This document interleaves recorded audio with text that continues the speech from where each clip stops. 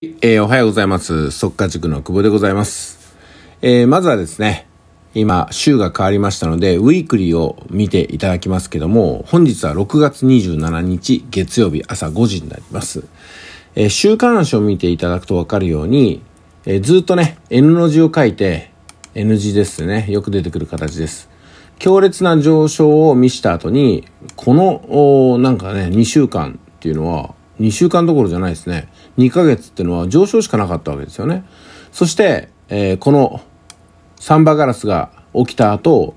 私はその後上昇するというふうに予告しました。そして N を書くというふうにお話しましたけども、その通りになりましたよね。で、なんでサンバガラスの後に基本に立ち返らずに上昇すると思ったのかというと、常識ならね、基本ならこっちですからね。それは下髭の存在です。この髭の使い方私結構ね、うん、やっぱ上手ですよね。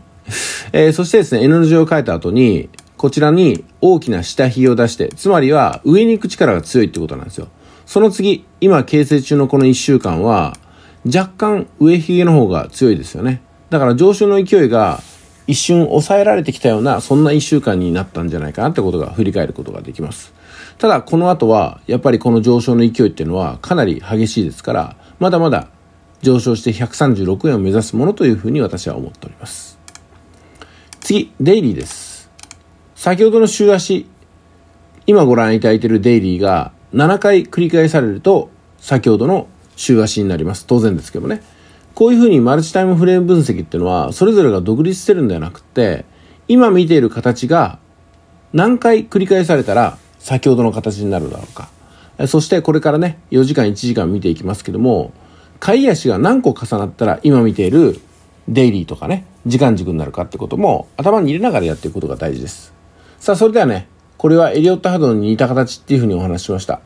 まず、こちらの方に波動があって、フラクタル図形で同じようにここに1、2、3、4、5とできた後に、調整波が入って、その後、ここを超えていくような勢いが続くんではなかろうかというふうに今までのこの波形で思えるわけですよね。まあ、ですんで、含み依存を抱えてしまうことがあるにしても、これはいずれは136円を超えて137円の方向に行くというふうに、この4時間では予測できるわけなんですよ。あくまで予測ですからね。あ、これ、すみません。1日足でしたね。1日足は予測できるわけなんですよ。あくまで予測ですけどもね。ただこの時点で考える予測っていうのは、週足では上昇。デイリーでも上昇っていうことです。変わりません。はい。じゃあ次は、4時間です。この4時間が6回重なると先ほどの時間軸になるってことですよね。そしてこの4時間では、この上昇のチャンネルラインに戻ってきたよねってことですよ。弾き出してはみ出すことがあっても、結局戻ってきたよねってことなんですよね。で、ここに下髭を出してしっかりと下を支えて上昇していく勢いが見えてくることになります。はい、ですんでね、これは今更なんですけども、後付けで言うならば、ここに、あ、ちょっと斜めに書けないんでね、すいません。線で書きましょうか。この細い線の内側に入った時に、倍をかませば利益が取れるし、こちらに入ってきた時にセルですれば利益が取れるしってことなんで、レンジオプションが引けたよねっていうのは後付けでできます。ただし、ここと、ここはロスカットっていうね、リスクがありますよってことなんですよ。でも全体的にはロスカットに入る局面っていうのは限られてるでしょ？だからやっぱりテクニカルっていうのは、まあ、大概の場所で通用するってことなんですよ。で、これも右肩上がりですよね。この上昇波動がそのまんま上をブレイクしていってくれると楽なんですけども、そうなるかどうかはわかりません。で、1時間を見ていくと、はい、1時間ではですね、この横2本のレンジのチャンネルラインがまず一つ目安になります。その次にここにダブルトップが形成されたんで上昇が始まったよねってところは見て取れるわけなんですよ。この2点に気づくことができれば